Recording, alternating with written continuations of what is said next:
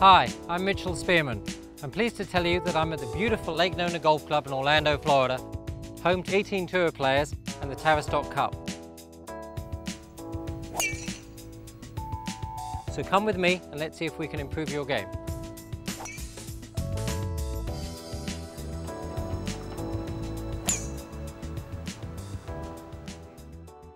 I'm on the 15th hole here at Lake Nona Golf Club in Orlando, Florida. And I'm pleased to welcome Joe Jung from EJL Custom Golf. Yes. Joe, welcome. Joe gets your clubs fitted for you. I fix the swing. It's a combination. That's Joe, correct. there's a lot of information out there. There's a lot of golf clubs to choose from. Where do we start? Well, if we're talking about drivers, uh, you could probably start with higher lofts. Okay. Uh, most amateurs today will automatically go for lower lofts to try and get more distance. And what inevitably happens is they don't hit the ball high enough, it doesn't carry far enough, and as a con- consequence, they're unhappy with the performance of the driver. You, you're right. It does start with drivers. That's what everyone I teach. They all Yeah. want to hit their ball a little bit further, and they think two things. They think less loft and they think longer clubs. That's not necessarily the case. What we try to do now is we try and keep the ball airborne for a longer period of time. Okay. Uh, and in the past, a lot of people are coming out of the experience having clubs that produce a lot of spin, older persimmon clubs like Yep. when you started to play, Yep. and golf balls like Balata wound golf balls that produced a lot of spin. Well, I today, still got a few at home. Yeah. yeah, do you? it's time to get replace them. Yeah. Uh, it's so the new clubs now are producing a lot higher launch, a lot lower spin, and the new urethane golf ball over the last 10 years uh, produces a lot less spin off of a driver.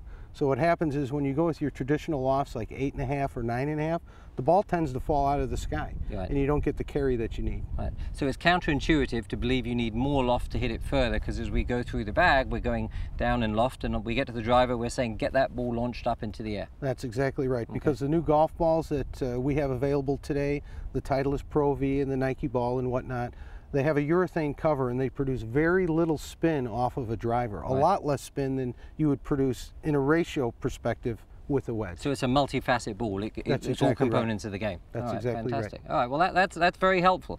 I can now understand that I need to not go for a longer driver. I can understand that I need that little bit more loft. So the bit in the middle is this thing called the shaft, Yes. referred to as the engine of the swing. That's correct. They're all different weights. They're much lighter than when I started playing. That's right. Tell me where one should look for the shaft.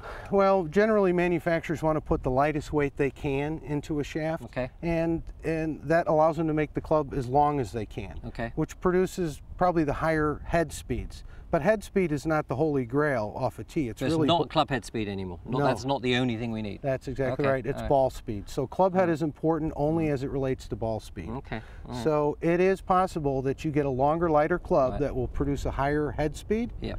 but the ball speed will come down. So I know that the amateur golfer, the good one, Right. the good player, will have 100 miles an hour, an hour of club head speed. That's What sort of ball speed should he expect to get?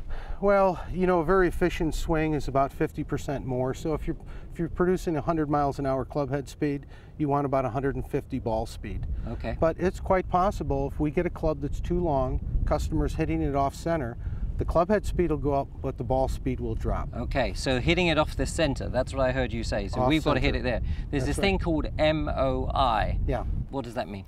Uh, MOI is moment of inertia, and what that means is the manufacturers put the weight of the club, or most of it, back away from the face. Okay. And the further back they pull the weight, Yeah. the more stable the club becomes. Okay. So that you can strike it on the heel or on the toe, Okay. and the club won't move as much or twist at impact. So straighter shots. Straighter shots. Straighter correct. shots.